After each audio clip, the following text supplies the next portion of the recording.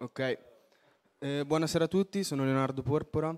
Eh, mi, è stato riservato mi è stato riservato il penultimo intervento della serata, quindi spero che abbiate ancora un po' di pazienza per ascoltare il talk. E oggi... Ehm...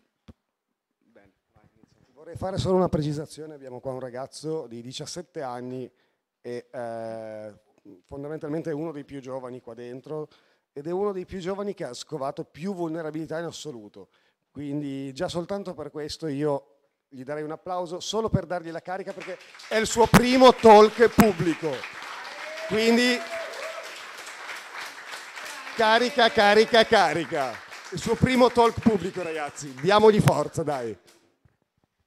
Ehm, niente, là, eh, sono uno studente del liceo scientifico Francesco Re di Arezzo, come ha detto Pavel, ho 17 anni e ormai da tre anni mi diletto a trovare vulnerabilità eh, in software, quindi faccio mobile e anche penetration testing. E, mh, mm, qui c'è un mio contatto nel caso in cui mi volesse contattare qualcuno. E adesso eh, vi presenterò due vulnerabilità che ho trovato all'interno di Signal. Eh, una che è stata già messa a posto da diverso tempo, eh, mesi fa, che ho trovato all'inizio dell'anno, mentre una molto più recente, che è stata fissata da veramente poco tempo. Iniziamo con eh, quella che ho trovato a inizio anno, che è il bypass dello screen locker di Signal per iOS. Eh, questa vulnerabilità eh, l'ho trovata pochi giorni dopo che è stata rilasciata questa feature eh, su Signal per iOS, perché perché questa feature era stata richiesta da veramente molte persone e quindi quando è stata messa a disposizione ho detto perché non provare a bypassarlo. E, mh, sono riuscito in poco tempo a trovare un modo per bypassarlo veramente molto semplice, come potrete vedere adesso da un video che ho messo in questa slide, che eh, la grafica del video è molto... eh vabbè, ma quello è ovvio, quando fai le presentazioni...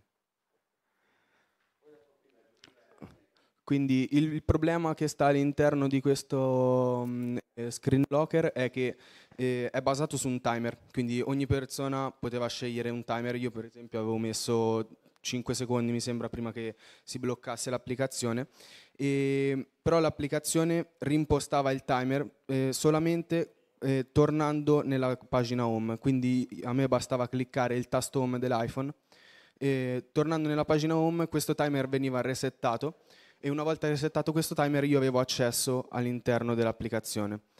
E ho fatto mm, eh, richiesta di un CVE per questa vulnerabilità, mi è stato assegnato e ho comunicato la vulnerabilità Signal. Eh, che è stata molto pronta nella risposta e in, in sole 12 ore ha rilasciato una fix che però era incompleta perché sono riuscito a ribypassare eh, sempre lo screen locker in un'altra maniera.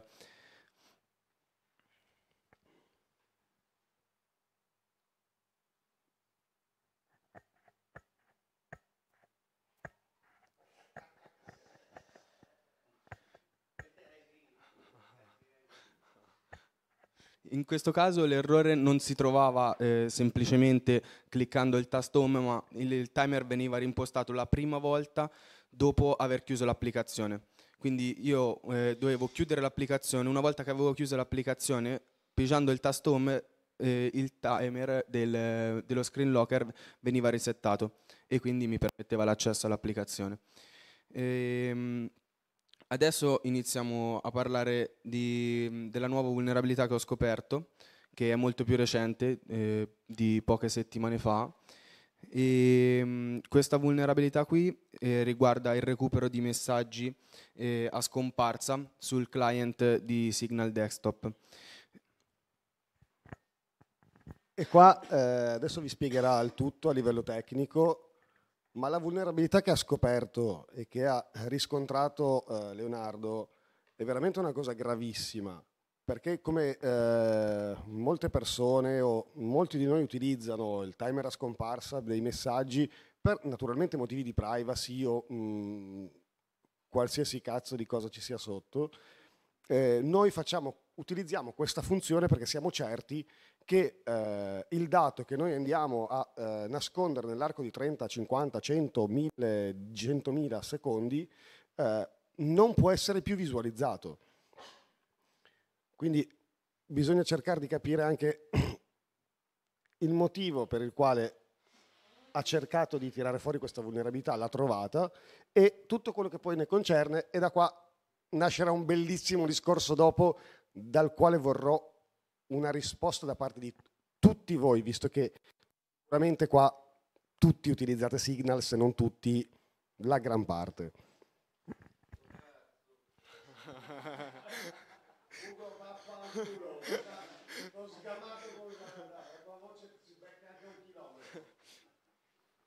Allora, eh, la, mia, la cosa che mi ha incuriosito è, è, questa qui, che vedete in questa foto. Tutto ha avuto inizio da questa, ehm, questo screen qui, perché qualcuno nota qualcosa di strano in questo screen?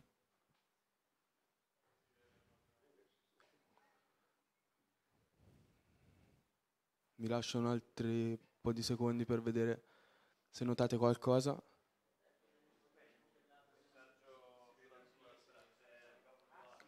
Quindi, perfetto, eh, abbiamo il timer a scomparsa dopo 30 secondi e dalla chat infatti non abbiamo più il messaggio, però dopo 32 minuti ancora il messaggio rimane nella preview del, ehm, dell'home page di Signal. E, e quindi ho detto questo messaggio da qualche parte sarà. E quindi se è da qualche parte io lo posso recuperare. E sarà solamente questo il messaggio che Signal ha salvato oppure ci sono anche quelli precedenti. E quindi ho iniziato a fare un po' di ricerca e ho visto che questa vulnerabilità qui eh, che veniva rilasciato, cioè veniva fatto ancora vedere me- l'ultimo messaggio nella preview, era stato fissato due giorni dopo che l'avevo trovato, eh, ma senza che l'avessi segnalato io però ho detto magari i messaggi sono, non sono più visibili dall'interfaccia grafica ma sono ancora recuperabili e infatti era proprio così. Ehm, adesso vi faccio vedere un piccolo video come dimostrazione. Eh, chiedi troppo. sì, ma l'hai visto come si vedevano? Si vede? No, non si vede un cazzo. Bene. Un applauso alla sua prima di. Non si vede manco più il mouse. Bro, trovami il coso qui. Il mouse, il mouse. Se cominci a sbloccare il tuo mouse viene fuori. No, non viene. Bisogno di assistenza. Guarda. Trova il mouse. Non fa il mouse. Baby, I wanna know. Devo andare sull'impostazione. Eh, ma non, non si vede questo. Non lo vedi. Eh, quindi boh, io dovremmo andare qua. Questo ah, ora lo vedi. Di là. Vai, quindi no. guarda, guarda, se, se, tu schiacci questo e gli dici spostalo di qua, sposta di qua, vedi? Bravo. E poi lo dici, fammi una schermatura. Ah, ah. bello! Bene, fallo partire adesso. io sono sbronzo. e il torto non è ancora finito.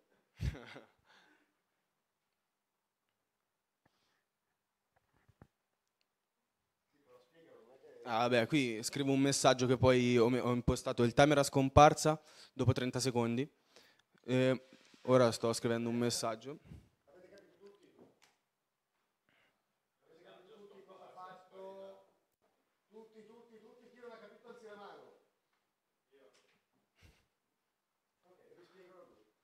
Ho impostato eh, una funzionalità di Signal, che è il messaggio a scomparsa dopo 30 secondi. La conosci Signal? Ah, allora, Ho impostato eh, una funzione di Signal che ti permette di cancellare i messaggi automaticamente dopo eh, il tempo che ti hai settato, in questo caso 30 secondi. Adesso sto scrivendo un messaggio che poi invierò e dovrebbe scomparire dopo quel determinato tempo. Sì, può intrattenere qualcuno.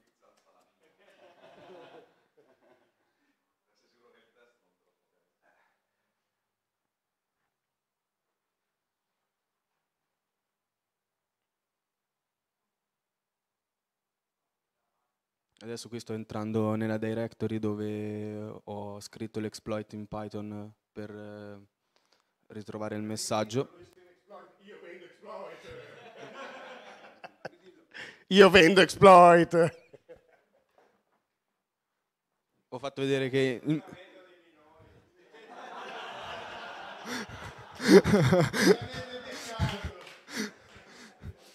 Quindi eh, il messaggio è scomparso sia dalla preview dell'applicazione che eh, da, dalla pagina della, mh, mm, del gruppo. E adesso faccio partire l'exploit.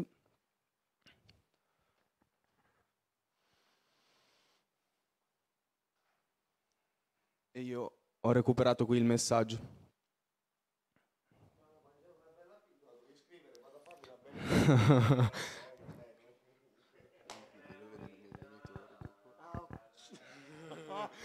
Tutti un. Eh, su quello che ho detto adesso, se è stato registrato, mettete un favore. Sì.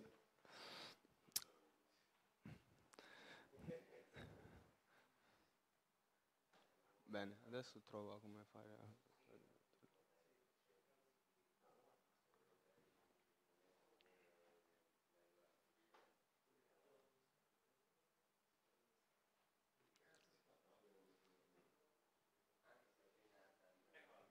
Bene, vai, vai. Quindi ehm, quello che ho fatto io per recuperare il messaggio è che mh, ho trovato, ehm, mi è venuto in mente, magari questo, me- questo messaggio si trova nella RAM. E quindi cosa ho deciso di fare? Ho detto proviamo a fare un dump della memoria e poi con... eh, ho fatto il dump della memoria e poi ho controllato con strings eh, se il messaggio era ancora interno alla, mm, alla memoria RAM. E, mm, effettivamente era possibile. Infatti nell'exploit io eh, faccio prima trovo il PID del processo, poi una volta trovato il PID del processo faccio un dump della memoria e poi trovo tutti i JSON che iniziano eh, con una stringa particolare perché il messaggio a scomparsa si trova all'interno di un JSON. Ehm, adesso troviamo l'errore e la- causa di questo problema. Ehm, in questa foto c'è l'errore e la causa quindi del, ehm, del bug di Signal. C'è qualcuno che riesce a trovare...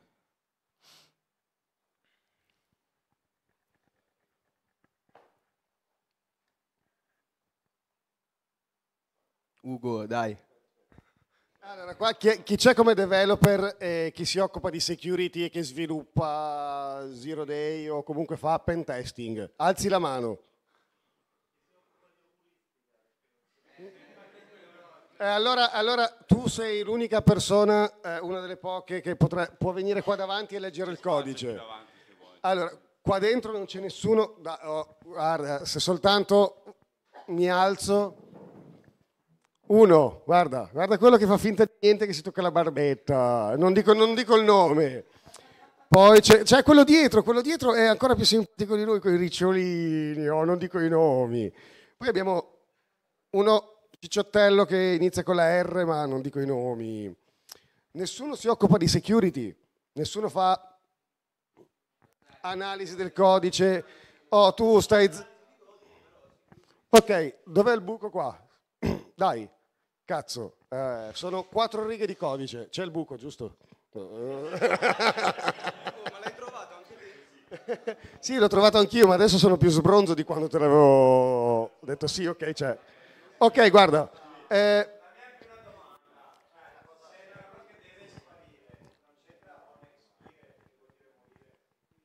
eh, sì, eh, qua vuoi rispondere tu o procedo io? Vu- Vuoi rispondere tu? Allora, abbiamo, abbiamo adesso... Ok, la- eh, Ok, allora, prima domanda. Oh, non esiste un expired. Per quale motivo deve esistere qua un non expired? Perché eh, quel dato dove viene scritto? In RAM? In, uh, in dove? On expired, in ogni caso tu lo devi gestire a livello di RAM. Quindi nel momento in cui tu eh, scrivi il dato, nel momento in cui tu decidi che quel dato non deve più esistere, lo devi eliminare. Aspetta. Eccolo l'epic fail. E un applauso per l'epic fail. Se non lo faceva doveva pagare una birra a tutti. Quindi qualcuno l'ha trovato? Il, il probabile errore?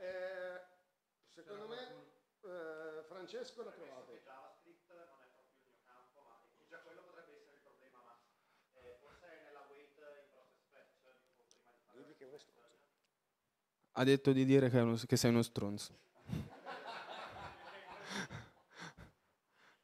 Allora, eh, spiegaglielo, spiegaglielo tu perché se no lo picchio. Cosa? Le... motivo c'è il bug? Eh, il motivo per cui c'è il bug è allora, ehm, i messaggi... Francesco, da te non me lo aspettavo. Cioè, me lo aspettavo da tutti, ma non vale. I messaggi... Eh?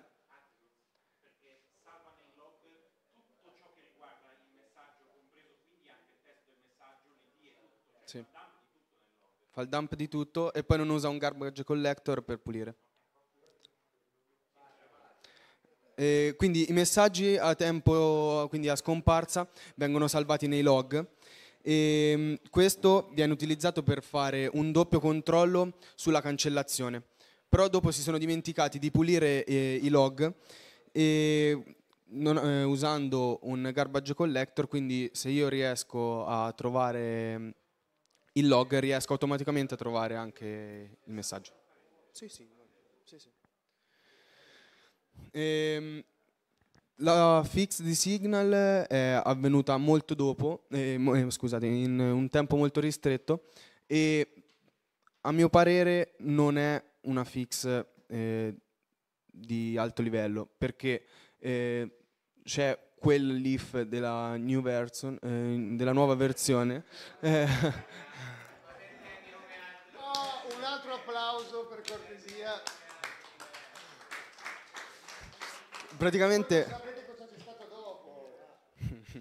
praticamente fa un controllo se la versione è uguale a 1.14.2 oppure a 1.15.0 beta 2, eh, allora cancella tutti i log dei messaggi. Però quello che penso io è che se una persona usa eh, la versione Signal 1.14.1 e quindi è ancora vulnerabile e poi passerà alla versione 1.16, questo passaggio non avviene.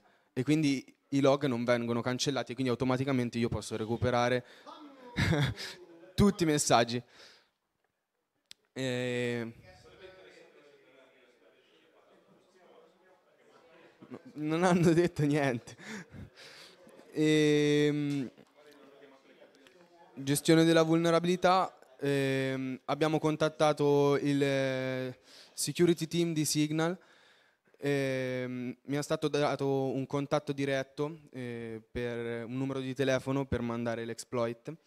E, ehm, ci sono voluti circa tre giorni perché analizzassero e fissassero il problema eh, e poi niente, sono venuto qui a parlarvene.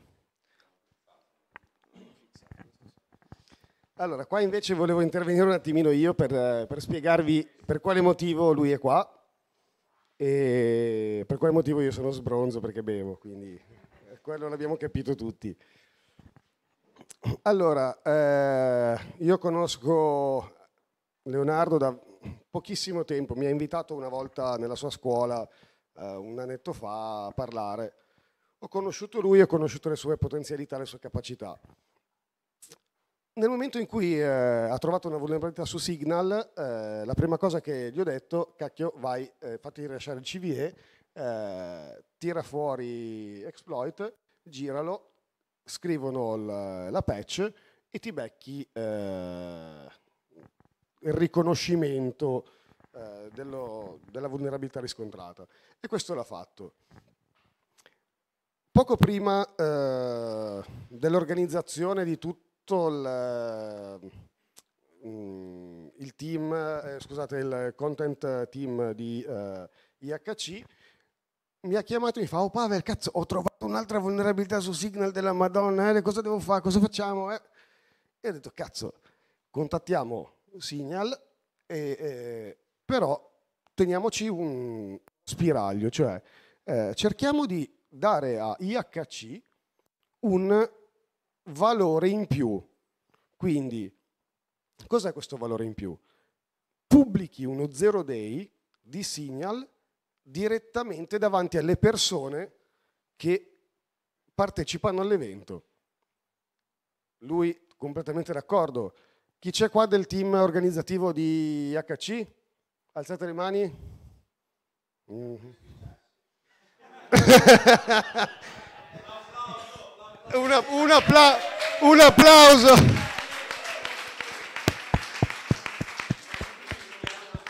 Ed è grazie a te che prima io sono riuscito ad andare perché c'avevo il cagotto e me la sono goduta di brutto. Eh, grazie. Eh, al di fuori di questo, io ho contattato eh, lui, cioè lui ha contattato me e io ho contattato eh, i ragazzi del, del, team organizzativo. Lo, ehm, tu ti sei loggato giusto nel canale di IHC e hai proposto questa cosa perché io ti avevo detto di, di farlo. Immediatamente, non so se, quante persone, una, due, tre, cinque, ti hanno cominciato a massacrare, a romperti i coglioni, a, a, a, cioè, a farti credere un qualcosa di sbagliato. Oh, te stai zitto e non rompere i coglioni. Eh, allora, lui è un ragazzo di 17 anni che ha la voglia di condividere pro- la propria conoscenza, le proprie esperienze e condividere le vulnerabilità che trova per dare una mano, non per fare dei danni o per creare un qualcosa di negativo. Noi l'unica cosa, noi almeno, io inizialmente e poi ho condiviso con lui ed è stato approvato anche da Giorgio e da altre persone del comitato organizzativo dell'ES, dell'ES mm, scusate, IHC. e cosa è successo?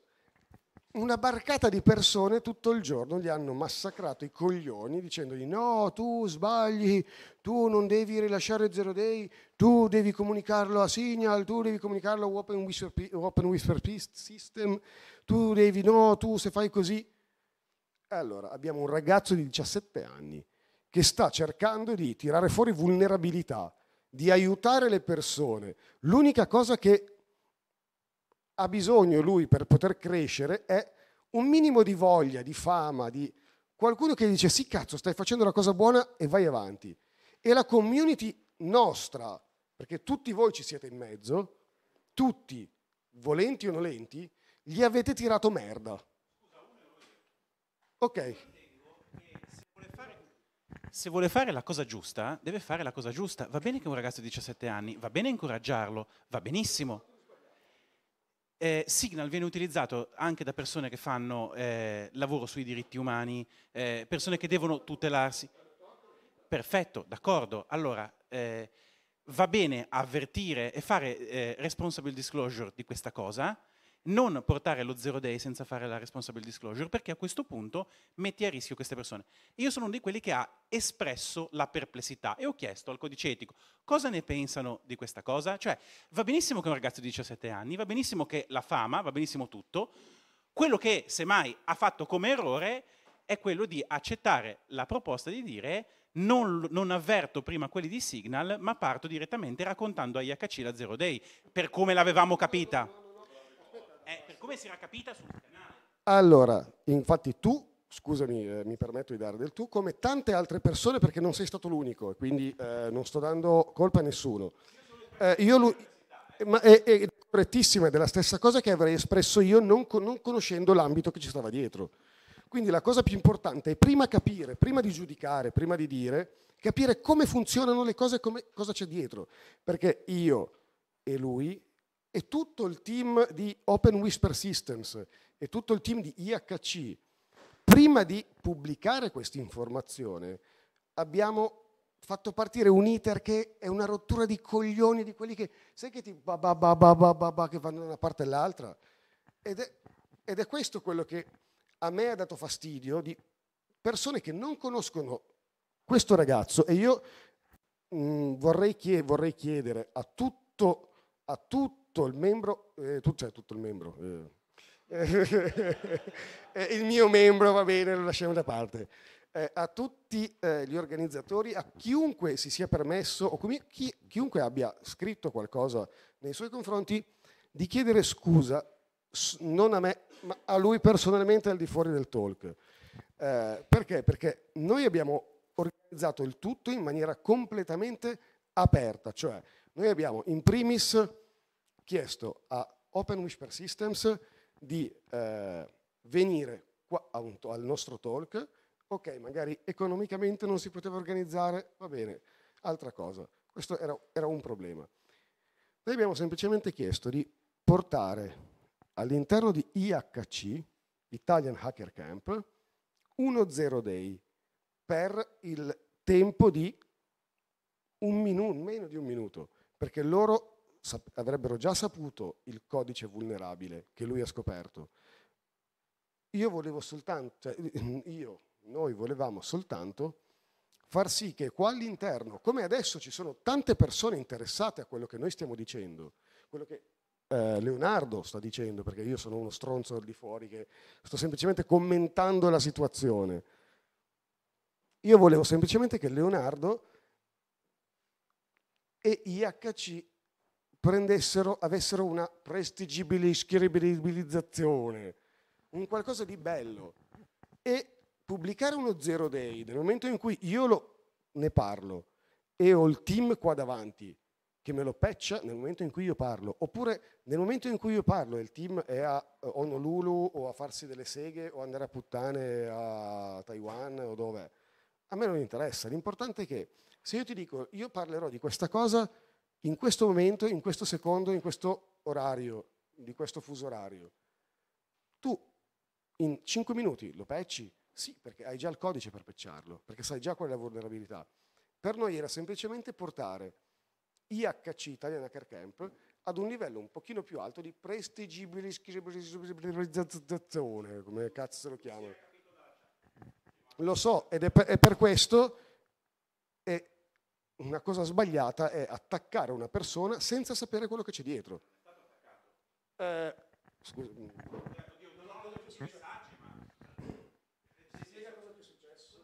No, vabbè, in alcuni messaggi è stato proprio detto...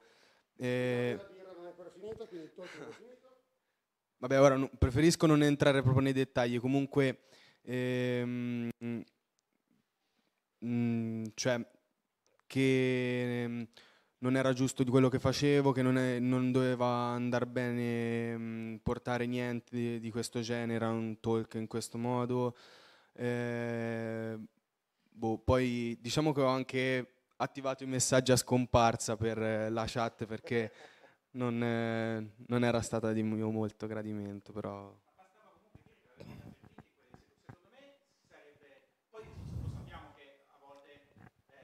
Allora, io sono il primo che combatte per i diritti di eh, libertà di chiunque. E questo era un metodo, un modo per far vedere eh, Leonardo come una persona che trova un ragazzo di 17 anni che in due mesi trova due vulnerabilità in signal. È impossibile. Eh, scusa, scusa, scusa, scusa.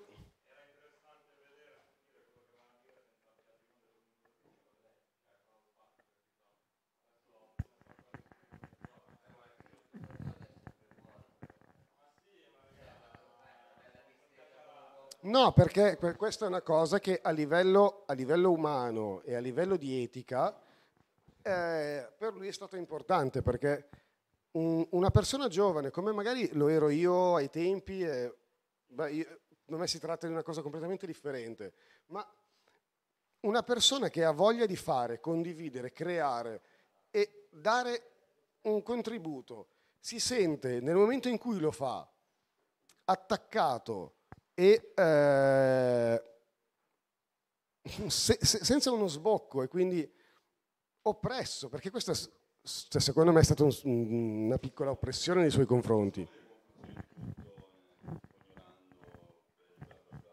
E poi chi ha voglia ci troveremo fuori a parlare della parte etica della cosa.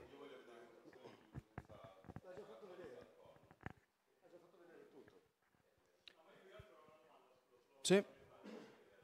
Infatti. Era il RAM. Sì. Sì.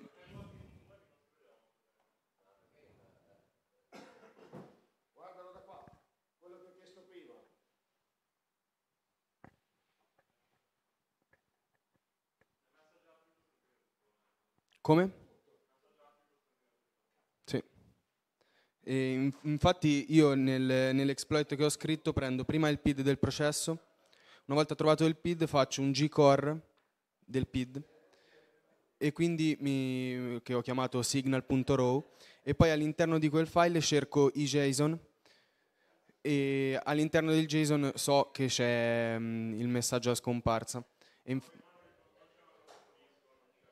no, no. No, non su disco. Solamente la sessione corrente.